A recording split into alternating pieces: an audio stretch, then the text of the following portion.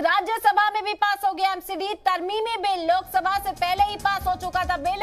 अब दिल्ली में होगा एक ही नगर निगम। दिल्ली में तीनों नगर निगमों का होगा मर्जर। तो बड़ी खबर इस वक्त आप तक पहुँचा रहे राज्यसभा में भी एमसीडी तरमीमी बिल पास हो गया है। इससे पहले लोकसभा में इस पर मोहर लगी थी। दिल्ली में अब एक ही एमसीडी होगी, एक ही नगर निगम होगा। आपको बता दें कि तीनों एमसीडी को मर्ज कर एक ही नगर निगम दिल्ली के अंदर बनाया जाएगा। राज्यसभा में भी एमसीडी तरमीमी बिल पास हो गया है। आपको बता दें कि इससे पहले लोकसभा में ये बिल पास हो चुका था और आज राज्यसभा में भी इस पर मोहर लग गई। इसका साफ़ मतलब कि दिल्ली में एक ही नगर निगम होगा।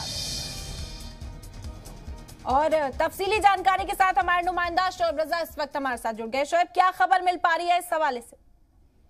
देखिए, बिल राज्यसभा से पास हो गया है। अब बस बाकी है सदर जमहूरिया के दस्तखत।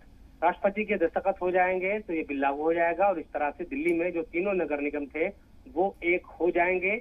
और फिर जो इलेक्शन होने वाला है, जिसकी जिसका सबको इंतज़ार है कि तारीख का ऐलान होगा जल्दी, क्योंकि पिछले दिनों जब इलेक्शन कमीशन प्रेस कॉन्फ्रेंस करने वाला था, उस वक्त वो रुक गई थी और उसके बाद से ही ये खबर थी कि तीनों निगमों को एक किया जाएगा, तीनों एमसीडी एमसीडी है, उनको एक किया जाएगा। उसका बिल अब चूँकि कैबिनेट है, उसके बाद लोकसभा में तीस मार्च को इसको लाया गया। और आज पाँच अप्रैल को इसके बाद राज्यसभा में पेश किया गया और गृह मंत्री अमित शाह ने इस मौके पर कई बातें कही। ये इल्ज़ाम लगाया कि जो एमसीसी है, तीनों उसके, उनके साथ सोतेला व्यवहार किया जा रहा था, उनको पैसे नहीं दिए जा रहे थे। ये तमाम जो चीज़ें हैं वो संसद के अंदर राज्यसभा में गृह मंत्री अमित शाह ने कहा। और यही एकमात्र रास्ता था ताकि जो लोग हैं, जो आम लोग हैं, उनको बेहतर सहूलियात फराहम की जा सके। हालाँकि इस दौरान ये बात भी आई कि पहले भी जो बिल गम था वो एक था उसके बाद तीन किए गए और फिर से अब एक किया जा रहा है। तो उस दौरान ये बात कही गई कि उस वक्त उस तरह की ज़रूरत महसूस की गई होगी।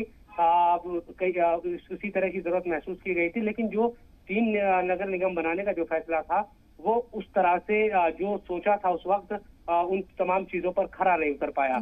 इसलिए फिर से तीनों जो एमसीडी है दिल्ली की उनको एक किया जाता है और जल्दी ही चूँकि इस मामले में अब राष्ट्रपति की मोहर लग जाएगी और उसके साथ ही जो तीनों निगर निगम है वो एक हो जाएगा और आने वाले दिनों में बहुत जल्दी हो सकता है कि इलेक्शन कमीशन की तरफ़ फिर जो तारीख है चुनाव की उसका ऐलान कर दिया जाए क्योंकि पिछले काफ़ी दिनों से आप देख रहे थे कि दिल्ली में अभी एक तकरीबन पंद्रह बीस दिन पहले इस तरह का माहौल एक बना हुआ था कि शायद एमसीडी के जो इलेक्शन है वो होंगे और हम देख रहे थे गली गली मोहल्लों मोहल्लों में जो संभावित उम्मीदवार है जो लोग चुनाव लड़ना चाहते हैं एमसीडी का दिल्ली में वो अपना प्रचार करते घूम रहे थे अलग अलग पार्टियों के। तो बहुत तो, जल्द दिल्ली में एमसीडी इंतखाब होते हुए भी नज़र आ सकते हैं क्योंकि बड़ा फैसला आज हुआ तीनों जो दिल्ली की एमसीडीज हैं उनके मर्जर पर मुहर लगे। बहुत बहुत शुक्रिया शोएब तमाम जानकारी का।